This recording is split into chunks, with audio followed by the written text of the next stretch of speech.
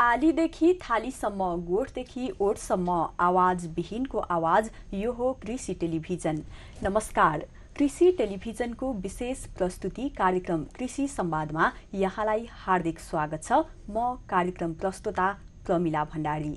आजको कार्यक्रम कृषि संवादमा हामी नेपालमा पछिल्लो समय संकटमा पर्दै गएको भनिएको हाते कागज व्यवसायको बारेमा रहेर चर्चा गर्नेछौँ र हामीसँग कुराकानी गर्नको लागि आज हामीसँग स्टुडियोमा उपस्थित हुनुभएको छ नेपाल हाते कागज उद्यमी सङ्घका अध्यक्ष हुनुहुन्छ नरेन्द्र साउद।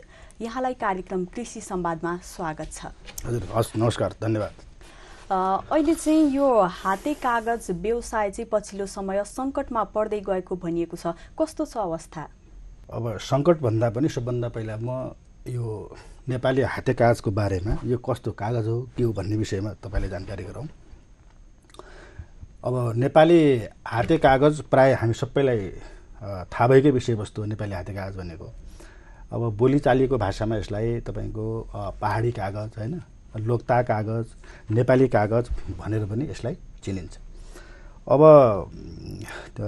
अब यसको इतिहासतिर पनि तपाईँले अलिकति जान्यो भने आजभन्दा उन्नाइस सय वर्ष अगाडि उन्नाइस सय वर्ष अगाडि लेखिएको त्यो अनुमान गरिन्छ नेपालको राष्ट्रिय अभिलेखालयमा एउटा हाम्रो भगवान् गौतम बुद्ध गौतम बुद्धको पवित्र ग्रन्थ जसलाई हामी कर्ण्या बुद्ध सूत्र भनेर भन्छौँ। त्यसमा पनि लोकता कागज नेपाली कागज प्रयोग भएको पाइन्छ। अब त्यो धेरै पहिलाको विषयवस्तु भयो। अब त्यसै गरी तपाईँको यो नेपालमा हाते कागज कहिलेदेखि बनाउन सुरु गरियो त? भनेर भन्दाखेरि जब नेपाल र खासाको चिन तिब्बतको व्यापारको हाम्रो नेपाल र तिब्बतको व्यापारको कारोबार जहिलेदेखि सुरु भयो त्यहाँ तिब्बतबाट प्रवृत्ति आयात भई नेपालमा हाते कागजको उत्पादन सुरु भयो र त्यसपछि गएर यसको अलिकति बनाउने बेच्ने सामान्य होइन प्रयोग हुँदै आयो। त्यसपछि गएर यसको अब यो नेपाल सरकारले कहिलेदेखि प्रयोग गर्यो भन्ने पनि छ। नेपाल सरकारले हजुरको उन्नाइस सय उन्नाइस सय तपाईँको तिसमा चाहिँ ठ्याक्कै डेट डेटै भन्ने हो भने उन्नाइस सय ति तिसमा चाहिँ तिब्बतबाट नेपाली पेपर सम्बन्धी एउटा क्राफ्ट सम्बन्धी प्रविधि नेपालमा आयात भयो होइन? आयात भइसकेपछि तपाईँको नेपाली हातेका नेपालमा बनाउन सुरु गरियो। सन् उन्नाइस सय उन्साठीमा सन् उन्नाइस सय उन्साठीमा नेपाल सरकारले नेपाली हाते कागज आधिकारिक रूपमा प्रयोग गर्न सुरु गरेको हो। त्यतिखेर कतिपय लिखितहरू कानुनीहरू तर तमसुक आदि इत्यादिहरू चिना जस्ता विषयवस्तुहरू होइन त्यो त तपाईँ हामीले अब बुढापाकादेखि पहिले परम्परागत हिसाबदेखि नै त्यो तपाईँले त्यो गर्दै आएका छौँ। अब त्यति त्यो त्यसपछि गएर यसको नेपालमा व्यावसायिक विकासको बारेमा पनि म तपाईँले पहिले बताउँ नेपालमा व्यवसायको विकास कसरी त्यसरी अब उन्नाइस सय उन्साठी सालदेखि नेपाल सरकारले कतिपय लिखितहरूमा कानुनी दस्तावेजहरूमा नेपाली हाते कागज प्रयोग प्रयोग गर्दै गर्दाको अवस्थामा यसलाई अब राष्ट्रिय र अन्तर्राष्ट्रिय राष्ट्रिय र अन्तर्राष्ट्रिय रूपमा पनि यसलाई व्यावसायिकता दिनका लागि सन् उन्नाइस सय अस्सीमा युनिसेफ भन्ने एउटा संस्था छ। तपाईँलाई थाहा होला युनिसेफको बारेमा। युनिसेफको समयमा के अरे सहयोगमा Bhaktapur paper craft Bhaktapur paper क्राफ्टको स्थापना भयो यो भक्तपुरमा अहिले पनि छँदैछ। त्यो स्थापना भइसकेपछि त्यही युनिसेफको सहयोगले राष्ट्रिय तथा अन्तर्राष्ट्रिय मार्केटमा नेपाली हाते कागजले प्रवेश पायो। संक्षेपमा भनेर भन्नुहुन्छ भने अहिले नेपाली हाते कागज त्यो पनि म बताइदिउँ। नेपाली हाते कागज अहिले नेपालमा त छँदैछ। नेपालभन्दा बाहिर सन्ताउन्नवटा देशमा पनि नेपाली हाते कागज प्रयोग भइरहेको छ। यसको मोटामोटी मार्केट बजार कति छ त भनेर भन्नुहुन्छ भने यसको अहिले राष्ट्रिय तथा अन्तर्राष्ट्रिय गरिकन होइन? लगभग एक करोडको एक अर्ब सरी एक अर्बको मार्केट रहेको छ होइन? अब यो मैले तपाईँलाई अलिकति यो हाते कागजको इतिहासतिर लगेँ। अब यस यति भनिसक्दाखेरि अब यसमा तपाईँले हामीले भन् भन्न सकिनुभयो यो एउटा परम्परागत चिज हो। यो एउटा ऐतिहासिक उन्नाइस सय तिस नेपाल र खासाको खासाको व्यापार सुरुवात भएदेखि यसको प्रविधि आदिका उत्पादन सुरु गरिएको भने त धेरै पहिलाको भने। जसरी नेपालको ढाका टोपी पहिचानको विषयवस्तु भएको छ नि हो नेपाली हाते कागज भनेको आज राष्ट्रिय तथा अन्तर्राष्ट्रिय रूपमा पहिचान भइसकेको पहिचानयुक्त अनि वस्तु हो। अहिले यसको यो नेपाली कागज चाहिँ सङ्कटमा पर्दै गएको भनेको छ होइन। नेपालमा उत्पादनमा पनि कम आएको छ र बाहिर अन्तर्राष्ट्रिय बजारमा चाहिँ यसको माग कस्तो छ? हो म अब हो त्यो पहिला प्रश्न र त्यो प्रश्न त दोहोऱ्याउनु भयो म त्यतिर जाँदै थिएँ होइन। अब अब अहिले के छ भनेर भन्नुहुन्छ भने अहिले अब हालको स्थिति के छ त? अब यो हेर्नुहोस् नेपालमा अब के भइरहेछ भनेर भन्नुहुन्छ भने अब साधन होइन? साधनका हिसाबले स्रोतका हिसाबले अब एकदमै यो नेपाल हामी सम्पन्न छौँ। यसमा नेपालमा प्राकृतिक स्रोत र साधनहरू के के हुन सक्छन् होइन? अनि त्यसले रोजगारी आय आर्जन आयात निर्यातको कुराहरू पनि छन्। यिनीहरू कसरी अब हामीले यसमा यसमा उ गर्न सक्छौँ? भन्ने हिसाबमा अब यो मैले अघि तपाईँले एउटा डाटा दिएँ एक अर्बको मार्केट। अब यसमा लगभग लगभग आधी स्वदेशी मार्केटका रूपमा रहेको मानिन्छ आधी विदेशका मार्केटका रूपमा रहेको मानिन्छ। अब यसमा अहिले समस्याको अब वर्तमान स्थिति अर्थात् अहिलेको समस्या अहिले कस्तो छ नेपाली हातेकाजको बारेमा भनेर भन्नुपर्दा अब यो मलाई यो भन्न कुनै हिचकिचाट छैन हेर्नुहोस्। नेपालमा अलिकति अब तल्लो तहका मान्छे भनौँ न गरिब विपन्नहरू अब ग्रामीण भेगमा हिमाली भेगमा हाम्रो हातेकाज उत्पादन हुने चिज हो। अब त्यहाँ उत्पादन भइसकेपछि अब त्यसको मार्केट अन्तर्राष्ट्रिय मार्केट भएपछि काठमाडौँ ल्याउनै पर्ने भयो होइन? देशको राष्ट्रिय तथा अन्तर्राष्ट्रिय मार्केट काठमाडौँ भइसकेपछि एउटा किसानले गाउँमा लोक्ता के अरे लोक्ताबाट काज उत्पादन गर्छ। काज उत्पादन गरिसकेपछि काठमाडौँ भित्रिन्छ। र काठमाडौँ भित्रिसकेपछि त्यहाँ यस्ता बिजुलियाहरू छन् हेर्नुहोस्। जसरी अब कृषिमा भनौँ न अहिले कृषिमा पनि अब सर राज्यको अलिकति ध्यान त्यसमा केन्द्रित भएको छ। अनि त्यहाँ बिचौलियाहरू छन्। बिचौलियाहरू को को हुन् भन्ने पहिचान भइसकेपछि राज्यले अहिले प्रत्येक गाउँपालिकामा प्रत्येक नगरपालिकामा प्रत्येक महानगरपालिकामा एउटा कृषि केन्द्र स्थापना गर्ने। कृषि केन्द्र स्थापना गरिसकेपछि उत्पादकले उत्पादन गरेका वस्तुहरू पनि त्यही कृषि केन्द्रमा लाने होइन? अनि उपभोक्ताहरू पनि त्यहीँ गइसकेपछि त्यो बिचमा बिचौलियाले अलिकति मुक्त गर्न सकिन्छ कि भनेर राज्यले त्यतातिर त्यसले ध्यान दिएको छ। अब नेपाली हातेकाजमा पनि सेम पहिला यो कृषि केन्द्र स्थापना अहिलेको कुरा गरेँ यसरी त्यसमा सुधार भयो। नेपाली हातेकाज जुन बिचौलिया अब कागज कहाँबाट आयो काठमाडौँ भित्र्यो भनिसकेपछि एकजना मान्छेलाई तपाईँले कसैले थाहा पाउनुभयो भने बिचौलियाले थाहा पायो भने अनि त्यो कागजमा तपाईँहरूको ती बिचौलिया जाने अनि बढी सस्तोभन्दा सस्तोमा त्यो कागज किन्ने अनि महँगोभन्दा महँगोमा त्यो नेपाली कागज बेच्ने।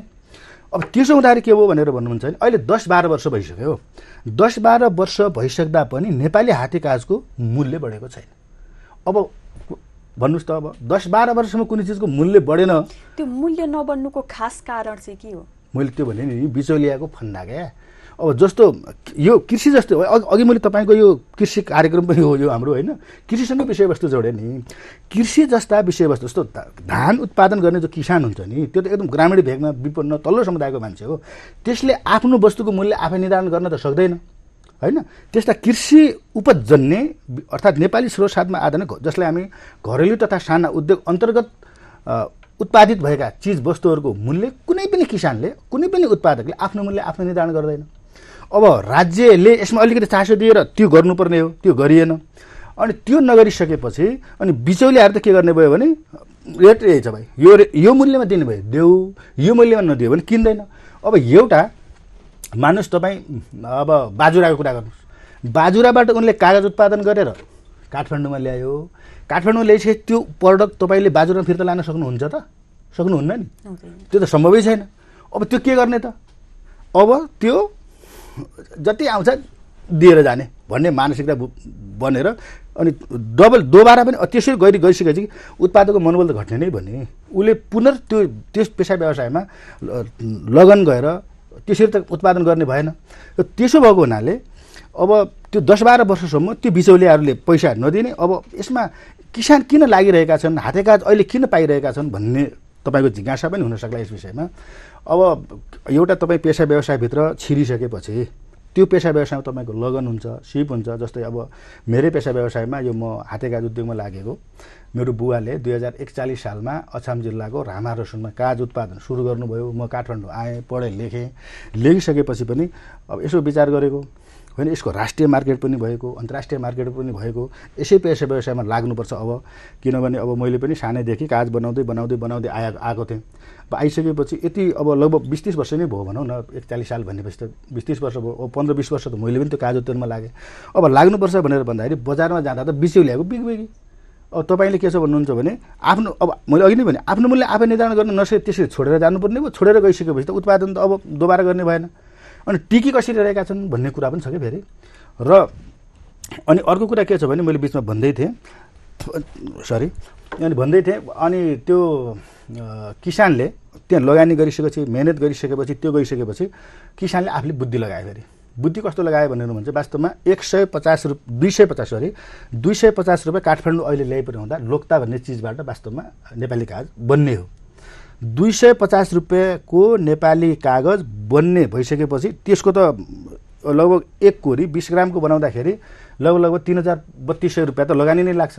अब अहिले बजार मूल्य तपाईँको बजारमा जाएर बेच्नुभयो भने तर अहिले चाहिँ मैले थोरै रोकेँ। अहिले चाहिँ कस्तो छ भने ए खासमा नेपाली कागज चाहिँ लोकताबाट बन्ने भन्ने थियो। तर अहिले चाहिँ अर्गेली बाबियो जस्ता त्यो मिसआउट गरेर त्यसरी पनि उत्पादन भइरहेको छ नि। हो म यो विषयवस्तु तपाईँको जोड्दै थिएँ। त्यसपछि किसानले आफ्नो पे यो कसो भयो भन्नुहुन्छ भने आप किसानले आफ्नो पेसा व्यवसायबाट पलायन नहुनका लागि। अब त्यस पहिला त लोकता मात्रै हाल्थे त्यसपछि लोकता दुई सय पचास रुपियाँ किलो छ भने अर्गेली भनेर जो नाम लिनुभयो तपाईँले त्यो अहिले काठमाडौँ ल्याइपर्दा एक सय चालिस रुपियाँ किलो छ। दस पन्ध्र वर्षसम्म पेसा व्यवसाय त धानिरहेकै छन् नि किसानले। अर्थात् नेपाली हातेका उद्यमीहरूले त्यो कसरी जाने भन्नुहुन्छ भने पहिला लोकताको मात्रै बनाउँथ्यो त्यो दुई सय पचास रुपियाँ अहिले काठमाडौँ ल्याइपुऱ्याउँदा पऱ्यो एक सय चालिसको पछि अर्गेली हाले। त्यसबाट पनि मूल्य नबढेपछि त अब ऊ गर्नुपर्ने भयो के अरे कि छोड्नुपर्ने भयो कि अर्को उपाय निकाल्नुपर्ने भयो। अनि अहिले काठमाडौँमा ल्याइपुऱ्याउँदा बाबियो हजुरको तिस रुपियाँ पर्छ। हो त्यो तिस रुपियाँको बाबियो मिसकट गरेर यसरी पेसा व्यवसाय अहिलेसम्म धानिरहे। अब अब अहिलेको स्थिति कस्तो छ भनेर भन्दा भन्नुहुन्छ भने अब तिस रुपियाँभन्दा सस्तो रो मेटेरियल हाल्ने त रो मेटेरियलै छैन अब। होइन? रो मेटेरियल नभइसकेपछि अब अहिले मान्छेहरू यो हाते कागज इतिहास बोकेको परम्परागत स्वदेशी स्रोत साधन सिप र प्रविधिमा आधारित यत्रो चिज यो वस्तु यो वस्तु अब हामी उद्यमीहरू प्लायन हुने क्रममा छन्। जस्तो तपाईँले गाउँतिर हेर्नुभयो भने एकचोटि यो मैले अघि नै एउटा डाटा दिएँ तपाईँलाई उन्नाइस सय असीमा उन्नाइस सय असीमा युनिसेफको सहयोग भइसकेपछि भक्तको पेपर क्राफ्टको स्थापना भइसकेपछि राष्ट्रिय अन्तर्राष्ट्रिय रूपमा एउटा मार्केट लिएर एउटा राम्रो कुरा भइरहेको थियो।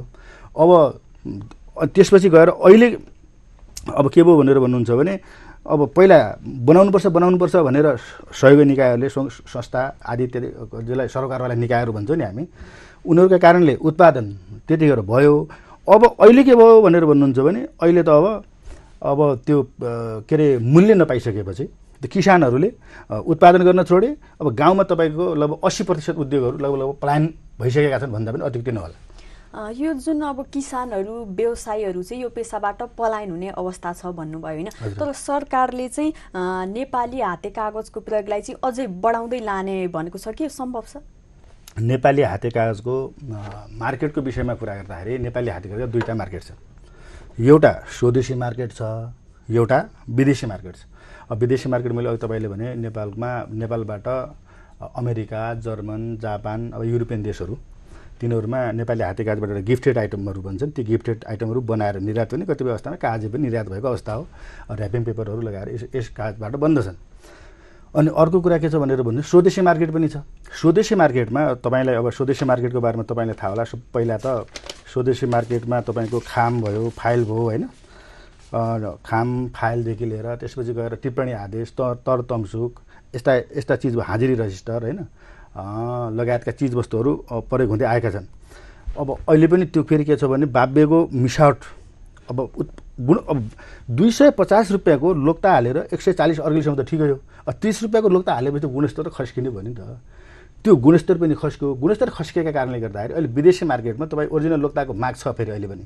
तर गुणस्तरीय वस्तु नदिँदाखेरि विदेशमा हामीले त्यो लोक्ताको कागज पठाउन पठाउँदाखेरि माग भए तापनि अब त्यो त्यो डिम सप्लाई भनौँ न गर्न सकेका छैन किन लो लो लोकताको ओरिजिनल ओरिजिनल नेपाली लोकताको हाते कागज अहिले बजारमा पाउन अलिकति मुस्किल भइरहेछ।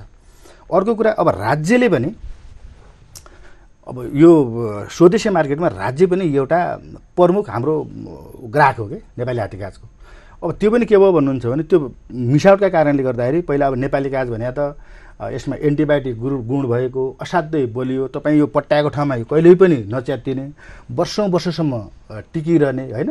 त्यस्तो विशेषता यस- यसका आफ्नै विशेषता भएको यो संसारकै गुणस्तरीय कागजका रूपमा मानिन्छ।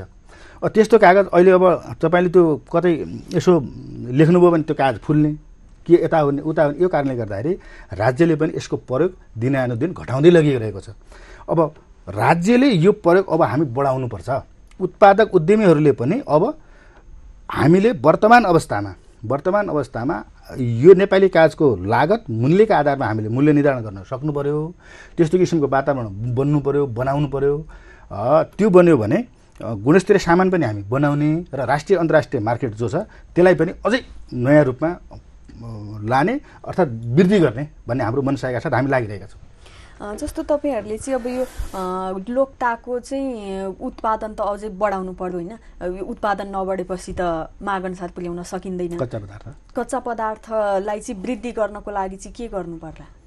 अब कच्चा पदार्थ यस्तो छ हेर्नुहोस् अब नेपाली यो लोक्ता भन्ने जुन कच्चा पदार्थ छ नि यो तपाईँको अब यो प्लान्टेसन गर्न सक्ने अवस्था चाहिँ रहँदैन।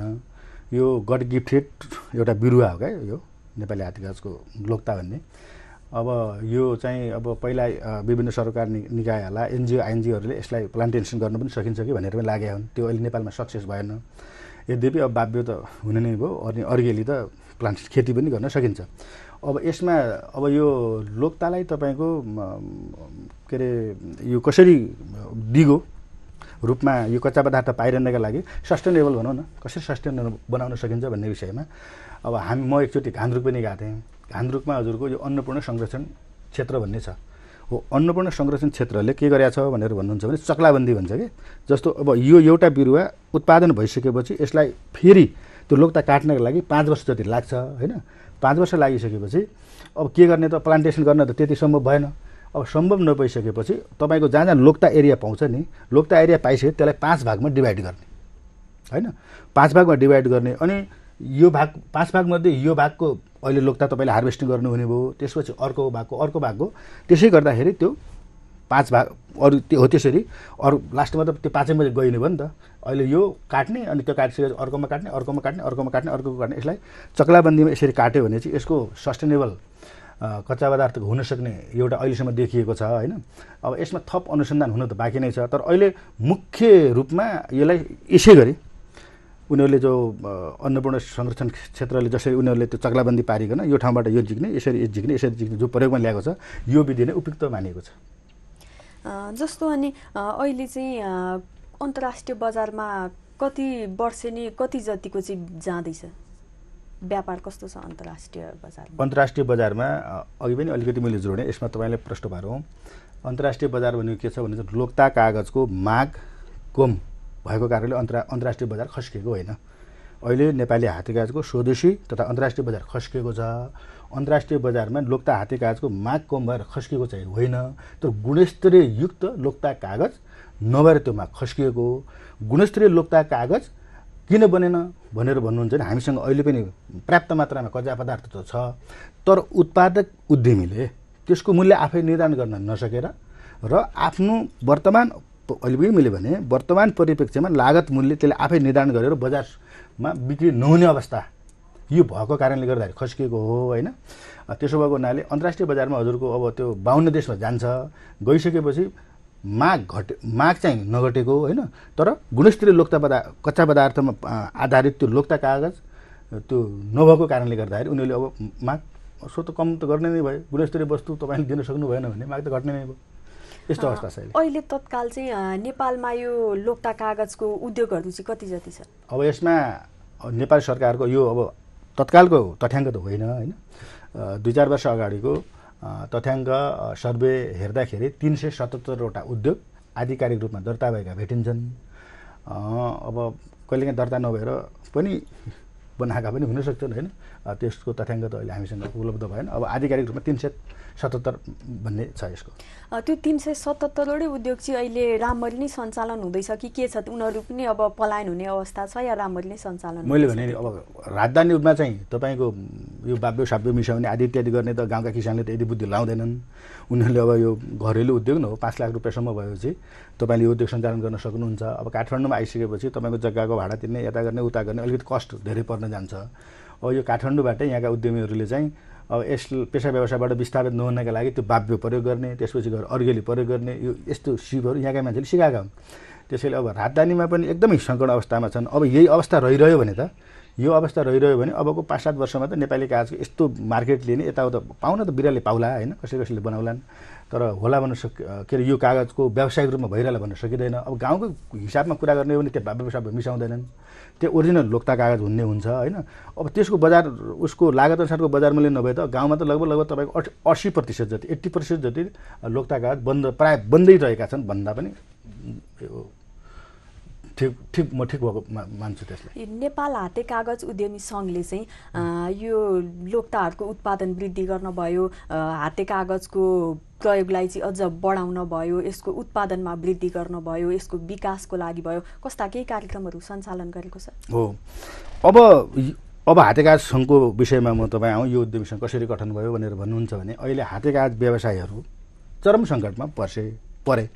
अब चरम सङ्कटमा परेपछि या त पेसाबाट विस्थापित भएर पलायन भएर अर्को पेसा रोज्नु हिँड्नु होइन भने केही न केही राज्यलाई हुन्छ सरकारवाला सम्बन्धित सरकारलाई निकायलाई हुन्छ आफ्ना कुराहरू राखिकन यसलाई फेरि प्रमोट गर्नुपर्ने अन्तिम अवस्थामा हामी पुगेर यो कसैले नभनिकन स्वतस्फूर्त रूपमा हामी यो उद्योगसँग व्यवसाय गर्ने मान्छेहरू एकताबद्ध भएर नेपाल हातेकाज उद्यमी सङ्घ गठन भएको हो। अब हातेकाज उद्यमी सङ्घले यो पेसा व्यवसायमा लागि लागि यो पेसा व्यवसायलाई बचाइराख्नका लागि यो बचाउनु पनि जरुरी किन छ भने यो एउटा परम्परागत चिज हो ऐतिहासिक चिज हो।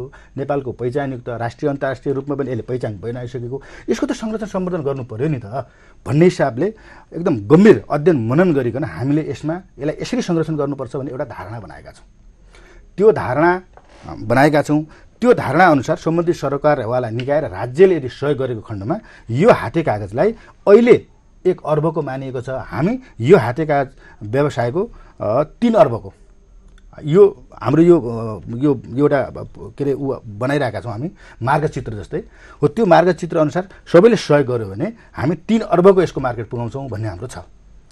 हामी यस कार्यक्रमको अन्त्य अन्त्यतिर आइसकेका छौँ र अन्तिममा यो व्यवसाय गर्न चाहने उद्यमी भयो अब लोकताहरूको उत्पादन चाहिँ गरेर आम्दानी गर्छु भन्ने जुन किसानहरू छन् होइन? त्यस्तो किसानहरू पनि हुन्छन्। यो हाते कागजमा चाहिँ म यसबाट राम्रो गर्छु भन्न चाहने उद्योगी व्यवसायीहरू पनि हुन्छन्। तिनीहरूको लागि के भन्न चाहनुहुन्छ? अब तपाईँले बिचमा सोध्नुहुन्छ कि भन्ने लागेको थियो। अब हामी समय छोटो छ म संक्षेपमा यो कुरा राख्न चाहन्छु। अब हाम्रो आगामी मार्गचित्र भनेको के हो भनेर भन्नुहुन्छ भने मार्गचित्र जो छ नि त्यो भनेको पेपर गार्डन। यो पेपर गार्डन भनेको के हो भनेर भन्नुहुन्छ भने सार संसारमा यो कसैले बनाएकै छैन होला यस्तो। यो पेपर गार्डन भनेको सबभन्दा पहिला यो राष्ट्रिय अन्तर्राष्ट्रिय यसको मार्केट भएको हुनाले काठमाडौँमा यो महत्त्वपूर्ण कुरा छ। काठमाडौँमा भएका जति पनि उद्योगहरू छन् एक ठाउँमा एकीकृत गर्ने। व्यवस्थित गर्ने त्यसलाई हामीले पेपर गार्डनको नाम दियौँ। पेपर इन्डस्ट्रिज भन्नु अलिकति हामीलाई मजा लागेन। फेरि पेपर भनेको कस्तो हुन्छ भने एउटा किसानले जसरी कृषि उत्पादनको उपज प्राप्त गर्दासम्म जति मिहिनेत गर्नुपर्छ नि एउटा हाते काज बनाउनु त्यति मिहिनेत लाग्छ। त्यसैले एउटा गार्डन पनि यसका रङ्गी चङ्गी दुनियाँभरिका गिफ्टेड आइटम बन्छ दुनियाँभरिका कलर होइन? गिफ्ट के अरे नोटबुक फाइल डायरी चुरा तपाईँको कानमा लाउने टपदेखि लिएर धेरै चिजवस्तुहरू यसमा बन्छन्। त्यो एउटै छातामा पहिला बनाउने। होइन? त्यो एउटै छातामा बनाउने त्यसलाई पेपर गार्डनको नाम लिने। तपाईँको तिस अब हामीले हामीले के लागेको छ भने काठमाडौँमा कमसेकम बिस तिसवटा उद्योग एकै ठाउँमा एक एकीकृत भयो भने त्यसपछि के हुने भयो भन्नुहुन्छ भने त्यो राज्यका नजरमा पर्ने हो। यसको बिसौँ वर्ष यो यो त्यसै खस्किएको होइन यो पेसा व्यवसाय। बिसौँ वर्षदेखि यसको पेसा व्यवसाय के अरे प्रविधिमा सुधार भएको छैन। तपाईँ हेर्न जानु होला जापानले पहिला त घरेलु विकास समिति भन्ने थियो। अहिले घरेलु उद्योग विभागको अन्तर्गतै छ हातेकाट प्रशिक्षण केन्द्र भने त्यो बन्द पर आएछ एकजना प्रशिक्षण मात्रै छन्। यत्रो आयात निर्यातमा होइन? तिन अर्बको आयात निर्यातमा पनि यसले योगदान दिने व्यवसाय परम्परागत सिपको संरक्षण गर्ने व्यवसाय आदि यस्तो व्यवसायलाई पनि आज राज्यको नजरमा परेको छैन। त्यसैले त्यो एकीकृत भइसकेपछि कमसेकम त्यो तपाईँको एकीकृत भइसकेपछि त्यो त तिस चालिसवटा उद्योग भयो राज्यका नजरमा परेर प्रविधिको सुधार सुधार हुने भयो अर्को कुरा वित्तीय संस्थाहरूले पनि वित्तीय संस्थाहरूले पनि नेपाली हातेकाजमा लगानी गर्न हिचकिचाइरहेका छन्। किनभने ठुला ठुला मोटा मोटा उद्यमीहरूले उनीहरूले लगानी गर्न केही पनि मान्दैनन्। यो साना साना घरेलु उद्योगहरूमा उनीहरू लगानी गर्न गाह्रो मान्छन्। के के अब भन्न त के भनेको छ भने अहिले कृषिमा कति सात आठ प्रतिशतमा दिन्छौँ। नेपाली हातेकाज भने कृषि अन्तर्गत होको विषयवस्तु हो भनेर भन्छन्। तर अहिलेसम्म त्यो सुलभ सहज कर्जा हामीले कहीँबाट उपलब्ध भएको छैन। हामीले प्रयास गर्छौँ। यो छ कि छैन यो त हेर्नुपर्छ। यस्तो जवाब आउँछ। त्यसपछि बिस तिसवटा त राज्यका नजरमा पनि पर्ने भयो। परि सरकारवाला निकायहरू पनि त्यहाँ जाने भयो। त्यस्तो वित्तीय एउटा उद्योग पहिला बिस तिसदेखि यसको परम्परागत प्रविधिमा सुधार भएको छ भने प्रविधिसँग सम्बन्धित मान्छेहरूले प्रविधिमा लाग्ने भयो नि त। उनीहरूलाई पनि एउटा धक्का त जाने भयो नि त। अर्को कुरा अनि तेस्रो कुरा के छ भन्नुहुन्छ भने यसको मार्केट अन्तर्राष्ट्रिय पनि भएको हुनाले जसरी एउटा खैरे विदेशबाट आउँदाखेरि खैरे मात्रै नभनु के भन्छ है त्यसलाई त्यो शब्द होइन? त्यो विदेशी अब यो हातेकासँग के अरे इन्ट्रेस्टेड मान्छे जब नेपाल आउँछ कुनै फाइभ स्टार होटलमा बस्छ होइन? अनि आफ्ना आवश्यक चिजवस्तुहरू थमेलबाट भनौँ न अहिले पर्यटक त्यो त त्यही हो नि। त्यहाँबाट किन्छु भनेर जसरी मनस्थिति बनाएर आएको हुन्छ नि हो त्यसै गरी यो हातेकाकासँग सम्बन्धित ग्राहक वा इच्छुक व्यक्ति विदेशी भने त्यो पेपर गार्डनमा जान्छ। त्यहाँ तपाईँको एउटा सामान्य भिजिटिङ कार्डदेखि लिएर गिफ्टेड आइडेन्टका सम्पूर्ण सामान एकै क्षेत्रमा पाइने भयो त्यो पाइसकेपछि त्यसले अन्तर्राष्ट्रिय रूपमा पनि एउटा ठुलो योगदान दिने हो किनभने विदेश खैरे विदेशी त्यो त्यो के अरे क्रेता हुन्छ नि त्यो पेपर गार्डनमा आउने हो। अनि त्यो आइसकेपछि बिचौलियाको सारा ठुलो समस्या मैले तपाईँलाई अगाडि अगाडि पनि बताएँ। बिचौलियाको पनि अब के छ भने नेपाली हाते काजका सम्पूर्ण चिजवस्तुहरू त पेपर गार्डनमा पाइन्छ है। भनेर भन्ने भयो नि त मान्छे। बिचौलियाको पनि बिचौलियाको पनि अन्त्य अन्त्य हुने सकिसकेको छ। यहाँ आएर आफ्नो अमूल्य जानकारीहरू दिनुभयो अमूल्य समय दिनुभयो हामीलाई। यसको लागि धेरै धेरै धन्यवाद। हस् तपाईँले पनि अब यो हातेकाज उद्यमी सङ्घ भनेको एउटा नयाँ सङ्गठन अब एउटा इतिहास बोकेको पहिचान भएको अनि नेपाली स्रोत र साधन सिपमा आधारित उद्योग धन्दा अलिकति पेसा व्यवसायबाट पलायन हुने अवस्थामा छ अहिले। यसलाई संरक्षण गर्नुपर्छ। यसको राज्यको दायित्व पनि छ होइन? त्यस्तो भएकोले हाम्रा कुराहरू आम दर्शक श्रोता होइन लाई पुर्याउनका निम्ति अब कृषि टेलिभिजनले यो यो कार्यक्रममा हामीलाई बोलाएर त्यसपछि गएर आम सबैलाई यो सूचित गर्ने हाम्रा कुराहरू राख्ने मौका दिनुभएको यहाँलाई हार्दिक धन्यवाद छ। नेपालमा पनि यस्ता व्यवसाय कृषि व्यवसाय टिभी प्रोग्रामहरू जस्तै कृषि जस्ता यस्ता टेलिभिजनको अति आवश्यक पनि छ र तपाईँहरूको यो कृषि टेलिभिजनको उत्तरोत्तर प्रगतिको कामना पनि गर्दछु। हस् थ्याङ्क यू। हस् धन्यवाद। आजको कार्यक्रम कृषि सम्वादको समय सकिएको छ। भोलि फेरि नयाँ विषयवस्तु र नयाँ अतिथिको साथमा उपस्थित हुने बाचासहित आजको कार्यक्रम कृषि सम्वादबाट बिदा हुन्छु। कृषि टेलिभिजन हेर्दै गर्नुहोला। जय कृषि जय किसान।